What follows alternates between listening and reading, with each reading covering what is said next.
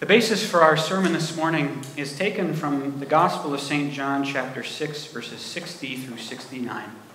Dear brothers and sisters in Christ, who do you look to and go to as a source of truth? Who do you turn to for advice because you know that they will tell you what you need to hear, not just what you want to hear? Many people imagine that they have the corner on the truth. You hear all different types of news stations and websites proclaim that they have the source of truth. You have people that think that they are fact checkers and can tell you what is true and what is false, even though fact checkers are also people too. You have any number of podcasts that you can find online or blogs or blogs where people proclaim, I know what the truth is, but the honest truth is this we cannot trust anyone in the world to give us the truth 100% accurately 100% of the time. Not even those that we love most, who we trust most, can we rely on to always speak the truth and never once be wrong about something. In our text for today, we'll see that there is only one person and one person alone that we can go to who, whenever he speaks, we can be absolutely certain that what he speaks is truth and what he speaks to us is life. On hearing it, that is, Jesus saying he is the true bread from heaven who gives life, and only those who eat him and consume him by faith have life. On hearing it, many of his disciples said, This is a hard teaching. Who can accept it? Aware that his disciples were grumbling about this, Jesus said to them, Does this offend you? Then what if you see the Son of Man ascend to where he was before? The Spirit gives life, the flesh counts for nothing. The words I have spoken to you, they are full of the Spirit and life. Yet there are some of you who do not believe. For Jesus had known from the beginning which of them did not believe and who would betray him. He went on to say, This is why I told you that no one can come to me unless the Father has enabled them. From this time, many of his disciples turned back and no longer followed him. You do not want to leave too, do you? Jesus asked the twelve. Simon Peter answered, Lord, to whom shall we go? You have the words of eternal life. We have come to believe and to know that you are the Holy One of God. Jesus is the most offensive man to ever live because he is the one who proclaims himself to be God, who proclaims himself to have come and die and rise for the sins of the world, and that is exactly what he has done. He is the most offensive man because he proclaims to be God, and he is. And this does not sit well with the sinful nature in the world around us. When the people say to him, in fact, his disciples that at this time had been following him up to two years, now in the third year of his ministry, when Jesus says to them, I am the bread of life, and you must believe in me in order to live, they say, This is a hard teaching, and that word denotes a roughness, it's a harshness. What Jesus says next is harsh. It grates on their ears when he says, The Spirit gives life, but the flesh counts for nothing. How could he say this?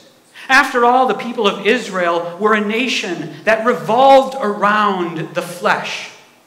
They were a nation that revolved around the covenant of circumcision, which was a sign in the flesh of males that their family was a part of the family of God, that they were God's chosen people. They had the covenant of Abraham, they had the circumcision. It was all about the flesh. What was Jesus talking about?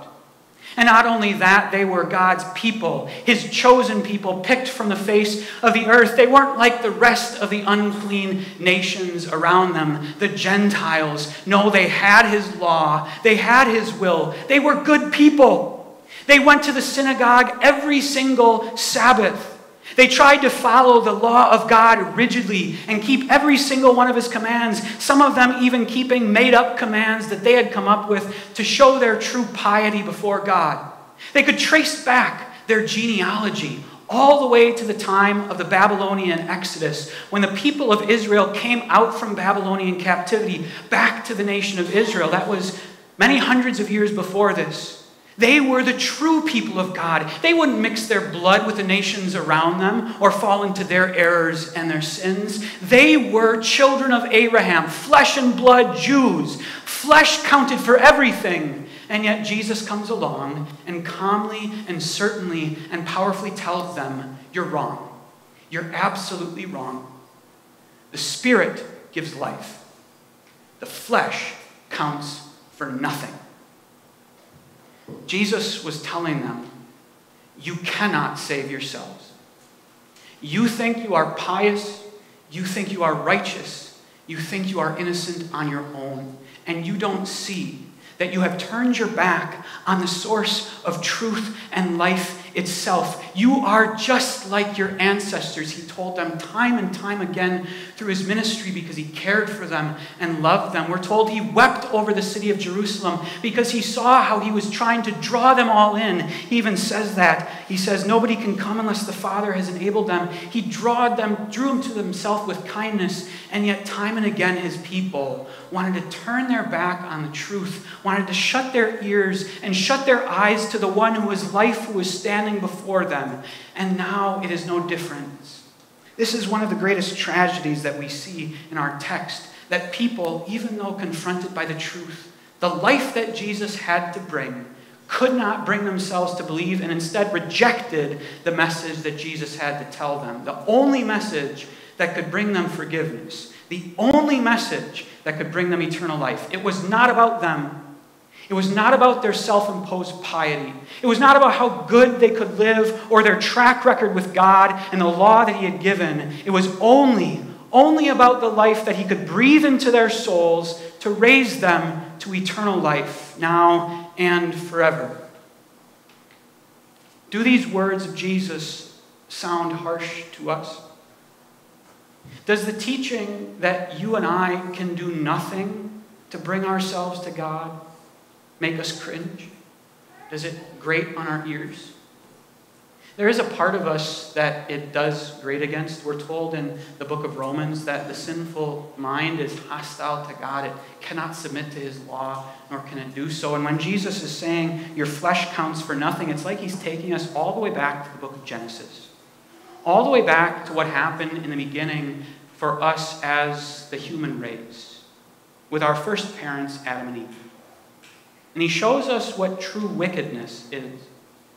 We may have an idea about what evil is and about wickedness is, and we can point to some people over history, and we can say, boy, those people were really evil. People like Chairman Mao, people like Adolf Hitler, people like Joseph Stalin, people like Jeffrey Dahmer, and we say, that is true evil, and true enough, that is evil. But what lies at the heart of real wickedness and real evil? It's simply this a resistance and a rejection to God's word and his command.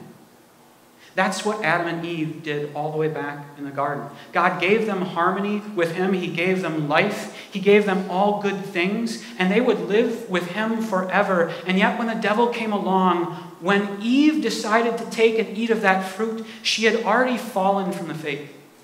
And what was the source of true wickedness for our first parents, Adam and Eve? It was resistance and it was rejection of the good word that God had given. That's it. It's as simple as that. And sadly, when Adam and Eve then decided to turn their backs on God, we see that mankind lost the image of God. He lost out on life. And if you go back and you read Genesis, you see the sad story because we're then told Adam lay with his wife Eve and they had a child and his name was Seth. And Seth was born not in the image of God, but we're told he was born in the image of man. He was born in the image of Adam and Eve, his parents. And then we're told with every passing generation, not, and they lived forever, and they lived forever, and they lived forever, but we're told, and he died, and he died, and he died, and he died. From that point on, as they committed the evil of resisting and rejecting the Word of God that is life, there was only sin and death that clung to us as a human race. We're also told this in Scripture, all the way back in the book of Genesis. We're told that our hearts from childhood are inclined to evil. If you think about a table, a table slanted to one side and you put a ball on it, that ball is always going to slide down to the lowest corner. That's the image of our hearts. We have these commands of God, but we're inclined to evil, and so we just roll off into very often that sin and that death, all on our own, all by nature. Nature cannot save us. Paul says that we are born objects of wrath. From the very moment that you are conceived, the very moment that you have a new strand of DNA and you are that single cell, there God has given that single cell life, but there also that life is corrupted corrupted by sin and death, from which we cannot rescue ourselves and from which we need deliverance. And this plays out all through our lives, doesn't it? If we look at Psalm 51, King David, who's an adult, even recognizes that the reason he committed adultery with Bathsheba, the reason he did it is because it goes back all the way to his conception. Many in our world think that children are innocent. Children are not born innocent. We are all born dead on arrival. We are all born without true life. And King David confirms that when he says, Surely I was sinful from birth, not just birth, he says, sinful from the time my mother conceived me. And each and every day, we feel that sin and we feel that death cling to us on our own, in our sinful natures, we cannot have hope. There is only one hope that we can possibly have, and that is found in Jesus Christ and Jesus Christ alone. And thank God that He has raised you and I to new life. He came at the day of our baptisms, and He breathed that new life into us. We talk about baptism very often because Scripture says it is a washing of rebirth and renewal. We're told it's not just, a ple- uh, not just washing of dirt from the body, but a pledge of a clear conscience toward God that now saves you by the resurrection of Jesus Christ from the dead. In the book of Romans, Paul says that we were once dead, but now through baptism we are buried with Christ, and now we are raised to new life with Him, but only through the Spirit that He has put in our hearts. So, as children for most of us, as infants for most of us who are responsible and who are sinful and who need a Savior, Jesus Christ comes into our heart to rule by the power of the Spirit and the power of the Word. As those words are spoken, I baptize you in the name of the Father and of the Son and of the Holy Spirit. And for some of you, some of you came to faith, some of you are brought to faith, rather, drawn by our God later in life. Whether you were a young adult or a full fledged adult, and you heard the good news that though your sins condemned you, Jesus came to bring you deliverance from that condemnation. To hear the words of Paul, therefore there is now no condemnation for those who are in Christ Jesus. You have been set free from the power of sin and death and raised to new life in your Savior, but only in Jesus and only through the Spirit that He provides, because for you and I, the flesh counts for nothing, the spirit is life. And even in these verses, how does Jesus show his tremendous love? He says the flesh counts for nothing, but immediately, immediately he holds out to them the hope of eternal life when he says, The Spirit gives life. The words I have spoken to you, in verse 63, they are full of spirit and life. Literally, literally, Jesus says, These words are spirit, and they are life. When you hear that Jesus Christ, your Savior, lived this perfect life for you, completely innocent to rescue you from your corrupted flesh. When you hear that Jesus paid the full price for your sins on the cross so that you would not be condemned forever, but instead have life forever. When you hear the good news that Jesus says, I am the resurrection and the life, he who believes in me will live even though he dies. When you look at his empty tomb and believe that 2,000 years ago he rose from the dead and now lives forever, when you hear those words, Jesus is very truly working with a living and powerful word to bring you to faith or to strengthen your faith in Him. This is not empty, meaningless words. This is not just an old text that means nothing today. This is the voice of your Savior Jesus, who is with us here today and ruling in heaven, who comes to you to give you the words of eternal life. Each and every day, we feel the weight, we feel that death cling to us. But each and every day, through the words of Jesus our Savior, we're assured again and again yes, at my life and my cross, through my empty tomb and my physical resurrection, you have been raised to new life, and now that is yours forever. And we look ahead. We look ahead to that day, which we hear so often about, but a real day, a real reality when God Himself will call us His people and He will wipe every tear from our eyes. When the curse of the fall into sin is completely undone. When Eden is restored in a way and God makes a new heavens and new earth, and there we will live with Him where there will only be life. All why?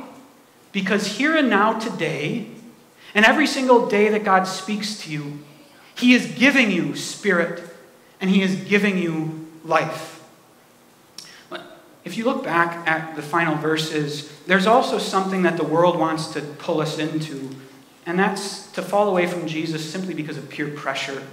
From this time, many of his disciples turned back and no longer followed him. The message was too hard for them. They didn't want to see the wrath of God. They didn't want to see the message of hell, that all who don't believe in Jesus will go to hell and all who believe in him will go to heaven. That was too harsh. But now Jesus turns to the 12 the ones he has specifically chosen to be the pillars of the church, to take his message to the world.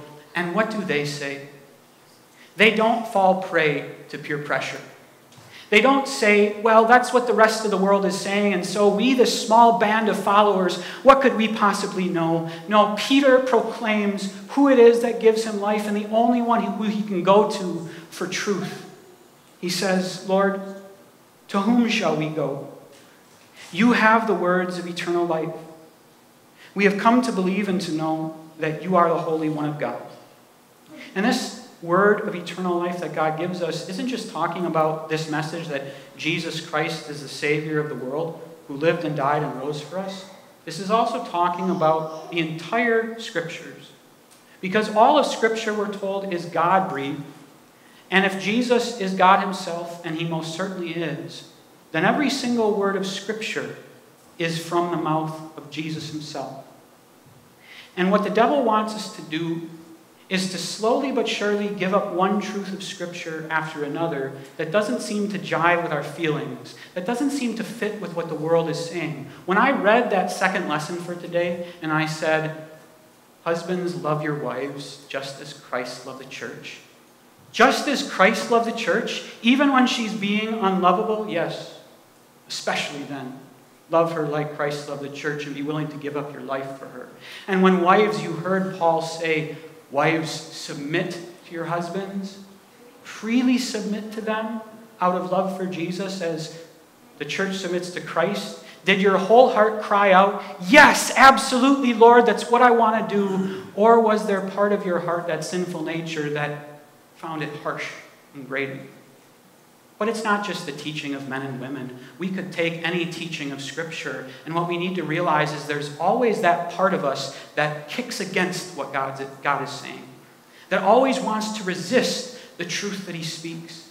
You mean to tell me that the Lord's Supper isn't just symbolic? You mean to tell me that in the Lord's Supper, in the bread and wine, I receive a supernatural event? I receive the body and blood given on the cross for me? You mean to say that it's a miracle that takes place in a way? You mean to tell me that that is the true body and blood of Jesus? That's hard to believe, and yet it's true. You mean to tell me that at the font, when a child is brought, it's not just an empty ritual, but it is really the power of God? You mean to tell me that I can't save myself with God? I have nothing to offer, that the flesh counts for nothing, and on and on. But let's not be drawn away by peer pressure. Let's not be drawn away by what the world is saying. Even if everybody in your family, even if your spouse, even if your children, even if your friends turn their back on Jesus, listen to the words of the one who speaks to eternal life and never give them up. Because here we can rest for our souls. Here we find eternal life that can never be extinguished in the one who died and is risen for us. When the world says, How could you possibly believe? That's just too hard. May our confession be the same. When the world wants to say, hey, why don't you follow after us? And Jesus turns and says, do you want to follow too? Let our confession be the same as that of Peter. Lord, to whom shall we go? You have the words of eternal life. We have come to believe and to know that you are the Holy One of God. Amen.